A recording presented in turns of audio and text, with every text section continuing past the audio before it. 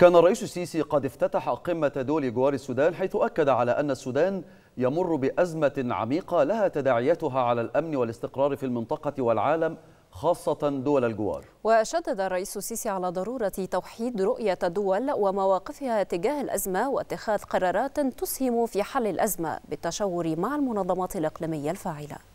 وأشكركم على تلبية الدعوة لحضور هذه القمة المهمة التي تنعقد في لحظة تاريخية فارقة من عمر السودان الشقيق.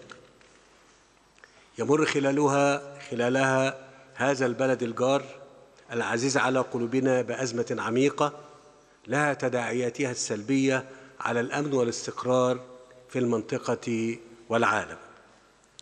وعلى دول جوار السودان بشكل خاص باعتبارها الأشد تأثرا بالأزمة والأكثر فهما ودراية بتعقيداتها مما يتعين معه على دولنا توحيد رؤيتها ومواقفها تجاه الأزمة واتخاذ قرارات متناسقة وموحدة تسهم في حل الأزمة بالتشاور مع أطروحات المؤسسات الإقليمية الفعالة وعلى رأسها الاتحاد الإفريقي وجامعة الدول العربية حفاظاً على مصالح ومقدرات شعوب دول الجوار وأمن واستقرار المنطقة ككل.